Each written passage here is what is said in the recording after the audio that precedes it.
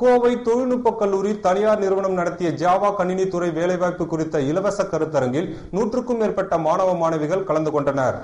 வெர்ஸ்டைல் எனும் கணினி தொழிற்பயிற்சி நிறுவனம் சென்னை டிசிஎஸ் நிறுவனம் ஆகியன இணைந்து கோவை தொழில்நுட்ப கல்லூரியில் ஜாவா கணினி பயிற்சி துறையில் உள்ள வேலைவாய்ப்பு குறித்த இலவச கருத்தரங்கை நடத்தியது.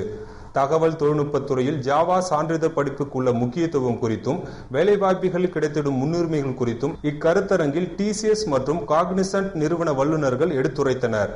இக்கருத்தரங்கு குறித்து வெஸ்டைல் நிறுவன நிர்வாக இயக்குனர் மூர்த்தி கூறும்பொழுது ஒவ்வொரு ஆண்டும் இரண்டரை லட்சம் மாணவர்கள் தொழிற்கல்வியை முடித்திடுவதாகவும் ஆனால் இவர்களில் இருபத்தி ஏழாயிரம் பேருக்கு மட்டுமே பணி வாய்ப்புகள் கிடைத்திடுவதாகவும் கூறினார்.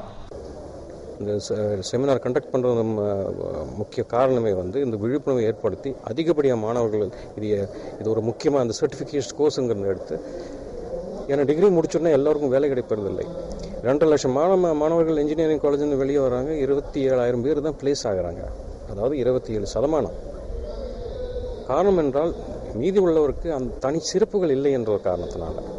மற்றபடி தகுதியோ இல்லை என்றது இல்லை அவங்களுக்கு அந்த தனி சிறப்பு இல்லைங்கிறதுனால. அப்போ இந்த டெக்னிக்கல் செஷன் வந்து செமினார் வந்து அவங்களுக்கு இவ்வளோ வெள்ளம் இருக்குது என்கிறதுக்கு ஒரு விழிப்புணர்வு ஏற்படுறதுன்னு நாங்கள் இதில் செயல்பட்டுருக்கோம். இன்னும் இரண்டு ஆண்டுக்குள்ள இரண்டு லட்சம் மாணவர்கள் சர்டிஃபை ஆவாங்க சர்டிஃபை பண்ணுவோங்கிற நம்பிக்கை வெர்ஸ்டைல் கம்பெனிக்கு உள்ளது.